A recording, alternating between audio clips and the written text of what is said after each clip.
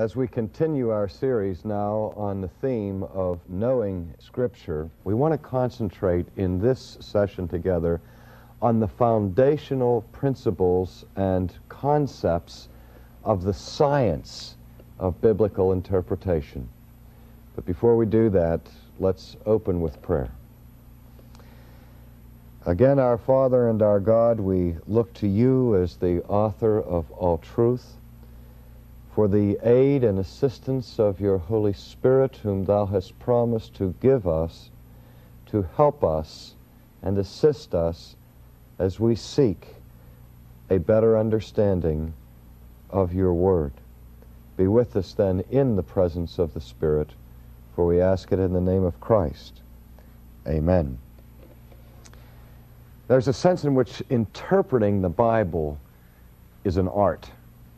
Maybe even it would be better to call it a science. But for a moment, at least, let's stick with the uh, analogy of, of art. I think of the category of art because of the problems that, that we've all been able to recognize in 20th century culture of a new wave of art that has swept across the landscape of, of our culture and in many cases bringing a sense of confusion and chaos. We've had op art and pop art and abstract impressionism and so on. And in these different schools of art and of artistic expression that have emerged, we've seen confusion in the realm of interpreting art. Some art is so abstract and at times apparently chaotic that when we look at the painting we're not sure whether we should turn sideways or, or whether it's been uh, framed and hung upside down because we can't see the structure and the lines and the rhythmic patterns in it as we're accustomed to in more classical forms of art. And some of the, of, of the more experimental and innovative art forms have been highly subjectivistic in their interpretation. And one of the questions that the art critic is interested in, and the layman as well, when he visits an art gallery or sees a painting in Time magazine, is what is the meaning of this painting? Or what is the sculptor trying to say with his latest masterpiece? And we went through a period of art in the last uh, 25 years where there was kind of a freewheeling uh, artistic expression where the artist was asked, What did you mean by your painting? And his response was, I meant whatever you find in it. That is, a new rule of interpreting art emerged in, in some circles of art that said that the artist now has the license to, to make this statement I paint it, you interpret it. That is a conscious uh, step to embrace a form of subjectivism that says there is no inherent meaning in the art. There is no objective significance to what the artist has painted or has sculpted, but rather whatever you find in it or however you respond to it is its ultimate meaning. Now that has provoked a kind of crisis in the field of biblical understanding because in that approach to art, if we would transfer it to the Bible, would leave us with no guidelines of objectivity, no rules by which we can discover an objective meaning. Now remember the framework that I'm working on here is the assertion that I've made that there is in fact only one ultimately correct meaning to Scripture, an objective meaning. And it's the meaning that the author of Scripture had in mind. And we can look at that at two levels and two dimensions. We could try to understand the meaning that Luke had in his mind as he wrote his gospel, his intention. What was he trying to express? What was he trying to say? What was he trying to communicate as one level of our search for understanding the Bible? But in an ultimate sense, I'm coming from that school of thought that believes that the Bible comes ultimately from God. And that through the agency of the Holy Spirit, God is the ultimate author. And so what we're looking for in interpreting the Bible is what does God have in mind here? What was God communicating to his people when, through the agency of the prophets or the apostles, certain books of Scripture were set forth? Now, if we take that view of the Bible, that there is an objective meaning, then we need to look at the Bible and the whole business of interpreting the Bible not only as an art, but as a science. And in fact, there is a science, an academic discipline, a particular subdivision of theology that is exclusively concerned for looking at the scientific rules and methods and principles that ought to govern our attempts to interpret the Scripture. Every science has certain rules and methods that are followed within it. And sometimes there are differences and controversies that arise within a science as to what are the proper rules and what are the proper methods of approaching a certain science. In the field of psychology, for example, there are, are uh, all different forms of competing approaches of methods to finding the best way to do psychology. And that's found even in medical science and in astronomy and virtually every science there is has its competing schools of thought on what is the best method to approach the field, what are the most important rules to be followed. Now, there is a sense in which the science of biblical interpretation has provoked a major, very major, and serious crisis for the church. Now, when theologians discuss this crisis, they talk about it in terms of a technical word for it, which is the word hermeneutics. Some of you perhaps have never even heard the word. Other ones, you uh, let it fall off your lips uh, very casually in normal conversation, the hermeneutical problem here and so on. And you may be very knowledgeable of the disputes that are involved in that field. But hermeneutics, and let me just take a minute to spell it for you. H-E-R M-E-N-E-U. Hermeneutics. T-I-C-S. Hermeneutics.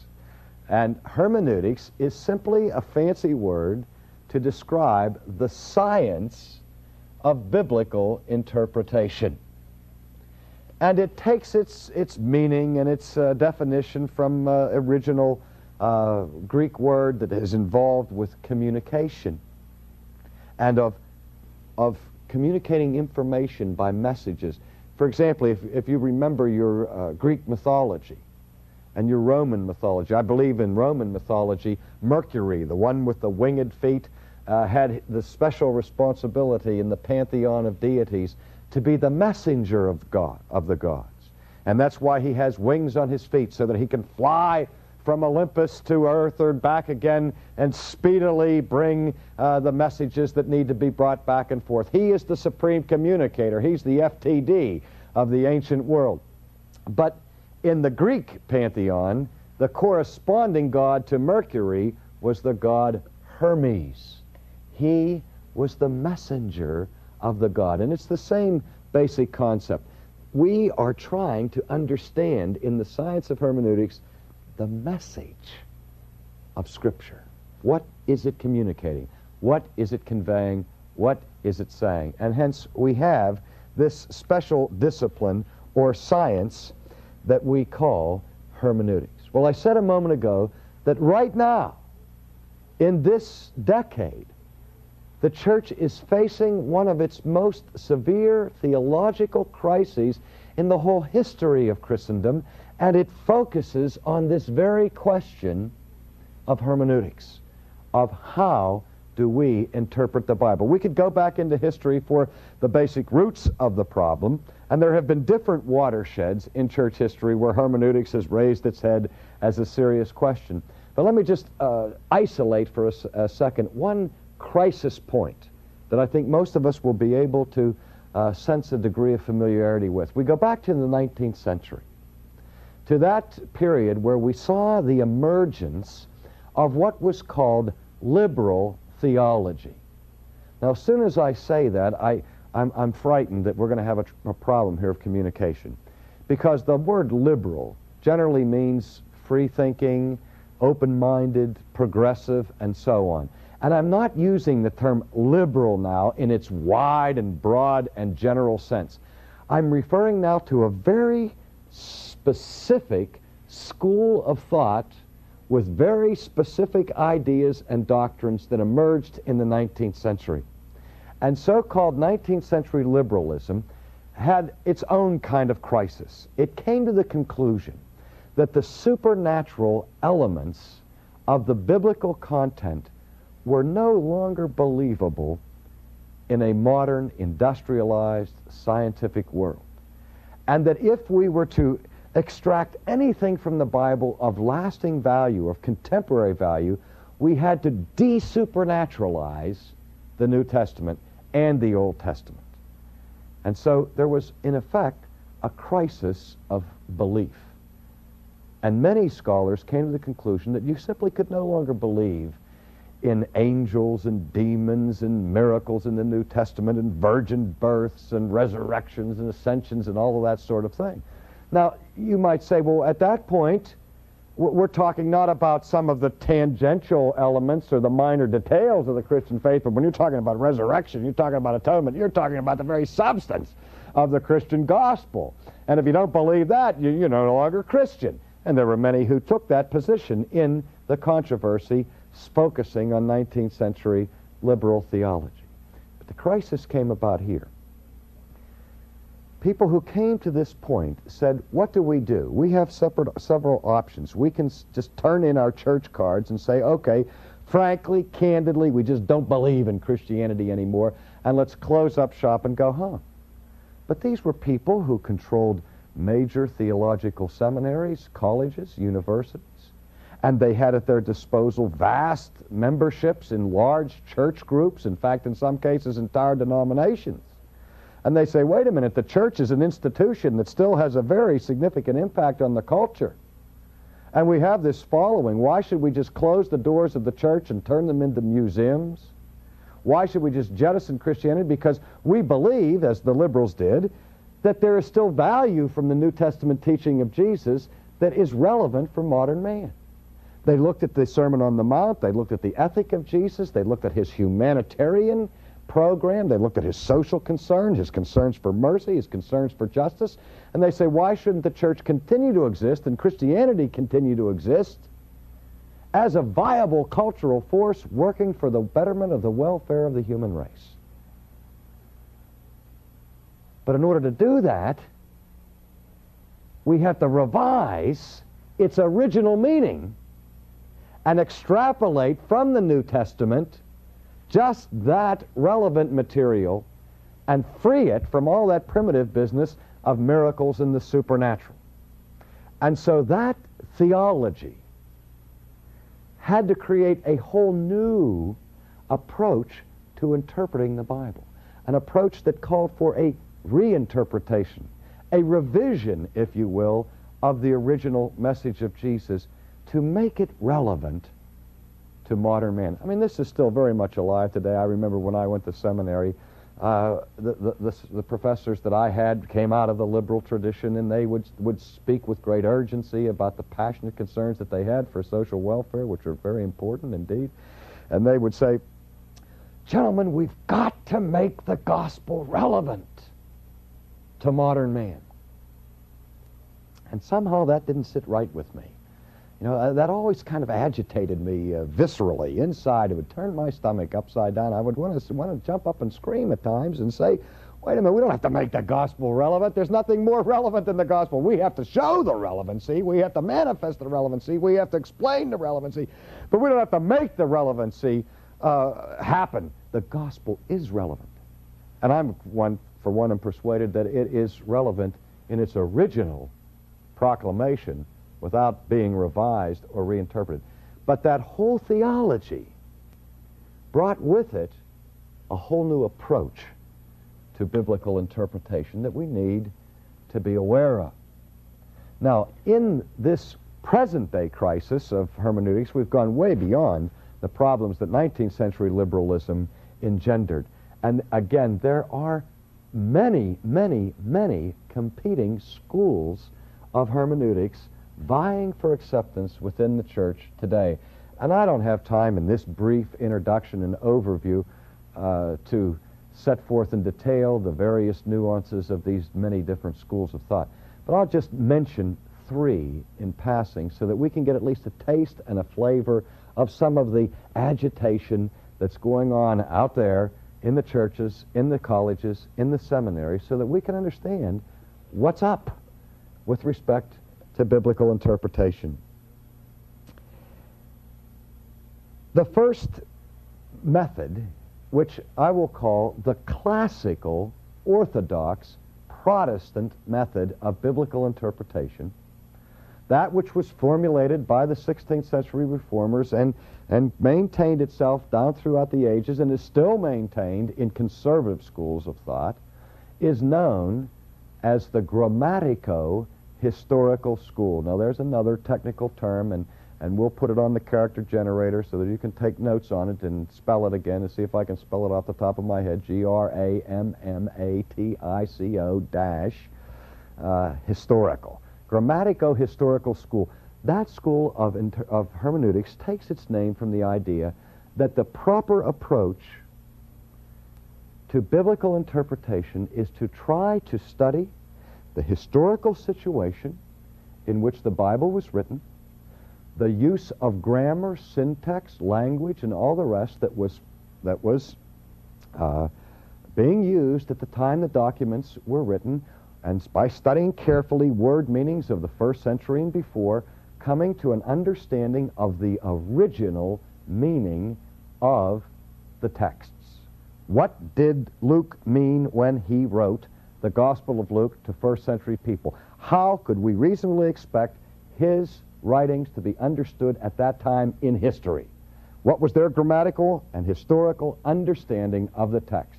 And the grammatical historical view says that's the way we're to approach the Bible, and that's the way we are to understand the Bible now, how it was written then. We still have the problem of applying it to the 20th century, but we recognize that the documents themselves are tied, are chained, are tethered, if you will, to the historical context in which they were originally written. And that's the context in which we should seek to reconstruct if we want to have an accurate understanding of them. At the same time, we recognize that as interpreters, when we come to the Bible, we also have a historical situation. And our historical situation is the 20th century. I live in an age of atomic bombs and automobiles and television and all of that, and there's a sense in which my whole way of thinking, my whole way of understanding, is very much conditioned by my cultural setting. By, and we're going to look at that in more detail and with some other problems that it raises later on. But just now, for the, for the moment, we understand that we as interpreters live in the 20th century, and there's a sense in which we're tethered to our own day. So there is a gap between the 20th century and the first century and earlier. And the science of hermeneutics in the grammatico-historical method seeks to bridge that gap by having us go back and try to reconstruct the first century. Other approaches say we don't have to do that. What we'll do is we'll take our 20th century concepts and our 20th century standpoint and go back and rewrite the scriptures according to 20th century things. That's a different school of thought, which we'll get at a little later. But the classical method is to seek the objective meaning of the past. That's number one. Then, after we understand what it meant then, then we face the question of applying it to our present day situation. But as much as possible, we try not to let our present day situation color or distort the original meaning of the text. Now, the second method, which was developed in the 19th century, is called the religious historical method. The religious dash historical method. Now, that represented a, an approach to Scripture that grew out of a whole sweeping movement of philosophy and changing of thinking and method that was characteristic of the 19th century. If there was a buzzword in 19th century intellectual uh, thought, it was the word evolution. Everybody's aware of the impact of evolution in biology. But it wasn't just Darwin in biology. The concept of evolution was made felt in other areas, in philosophy, in emerging philosophies of history, like Karl Marx, for example, like uh, Hegel, for example, also in forms of political theory, like Spencer's social Darwinianism ideas that the whole process of, of history, art, economics, literature, everything, is involved in a process of emerging. And the basic governing idea is that history and art and everything else moves biology from the simple to the complex. And the governing assumption was that religion does the same thing. And that all religions emerge from primitive types of animism and polytheism, and then as it gets more sophisticated, it moves to monotheism and to a more highly structured, ethical, abstract system. And that system was imposed on the Bible, saying that we've got to understand the Old Testament, for example, as simply a, an early, primitive, historical development, just like any other uh, religious things. And that really Abraham was probably a polytheist. He believed in many gods and so on, and that you don't really have ethical monotheism until the time of the 7th century prophets and so on. Now, that viewpoint made quite an impact on the church. When I went to seminary, uh, it was standard operating procedure. You were considered a backwoods idiot if you did not accept the documentary hypothesis of the Old Testament. I'm sure most of you have heard of that. That the first five books of the Bible were not written by Moses, but they were written by uh, uh, various sources at varied periods of history, and their sources are indicated by the number J, E, D, and P, and then it got more sophisticated J1, J2, P1, P2, and so on. where multiple authors over many, many centuries re changed and revised and, and finally came up with the, the books that are attributed to Moses. But they were relatively of, rate, of late origin.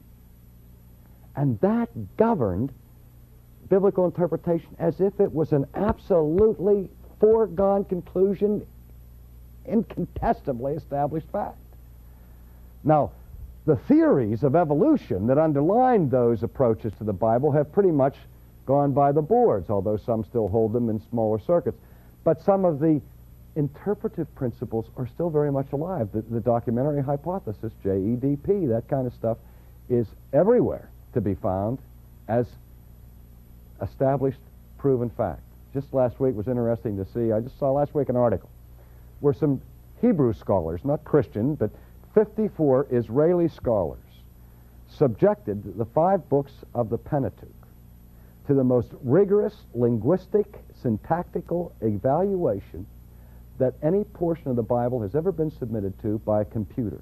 54 scholars gave the most radically sizable amount of, of uh, data that could be fed to a computer to analyze objectively authorship of the first five books of the Bible, and wouldn't you know, the computer spewed out the results, and according to the computer, that there was no question about it statistically that the first five books of the Old Testament were written by a single author.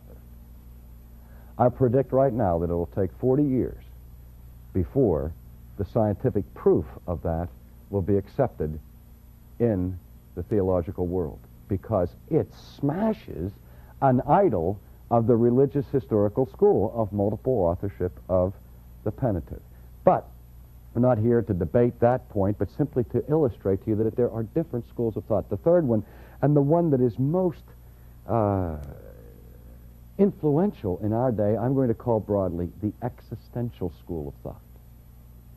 The existential school of thought, which has given us the so-called new hermeneutic, says that, that we're not really interested in the original historical situation because it doesn't relate to us today. What we need is a theology that is timeless, that is not bound to the first century or even bound to the 20th century, but transcends that all, that redemption is something that doesn't happen along historical lines, but it happens vertically, directly from above, where I come to the Bible and the way I interpret it is existentially, in my own existential situation. God can speak to me out of the blue, Senkrecht von oben, directly from above, up out of the blue, and, and somehow the Bible in an instant becomes the Word of God to me as God speaks to me through it. But the Bible simply becomes a vehicle for this ex- existential experience that takes, that takes place. And so, in this sense, we are approaching very rapidly the idea of the Bible being what modern art is. Luke wrote it, but we interpret it freewheelingly according to our own existential situation. But, dear friends, I am convinced that does radical violence to the text of Scripture, and not only violence to the text of Scripture, but it does violence to the church. And it does violence ultimately to the truth of Christ. And so I, for one, contend against it with all of the strength that I can bring about in this debate. Let me just take an extra minute, if I can, to illustrate the thing. We've seen the same problem of the intrusion of relativism in interpretation, not simply in the religious realm, but in our own national heritage. The Supreme Court of the United States is, by historical appointment, primarily a hermeneutical agency. What does that mean? That means that the function of the Supreme Court is to interpret the Constitution of the United States of America and measure it against existing bits of legislation. If Congress passes a law and you don't think it's constitutional, you can appeal it all the way to the Supreme Court for a ruling. And what the court was originally designed to do was to look at the, the current law, look at the Constitution, and see if the two are in harmony. And if they're not, the law is thrown out as unconstitutional. But that requires interpretation and interpreting the Constitution. And the traditional method in the courts was to interpret the Constitution according to the grammatico-historical method until recently, where a whole new approach has now been embraced that says we can reinterpret the Constitution. Not does this law really fit with what the fathers thought about in the 18th century, but does this law really meet contemporary community standards? Watch for it. Watch for it in the news, watch for it in the legislative editions. The governing principle of constitutionality has become consistency with contemporary community standards, which change and change and change. Because we've bought into a view of relativism. There are no absolutes, there are no abiding principles, and if that's the case, then the Constitution itself can no longer function as an objective, foundational guide for future behavior. And so you can actually change the Constitution not by a constitutional amendment, but by simply reinterpreting it. That's the kind of crisis we have in the Christian faith, in the Christian church, and that's why the science of hermeneutics is vital. Because if the new hermeneutic prevails, then we will have a Jesus who is not the same yesterday, today, and forever, but a Jesus who goes through as many changes as the theologians who are interpreting him. We're going to be searching for an objective method, and we're going to be examining ways to establish it throughout the rest of this course.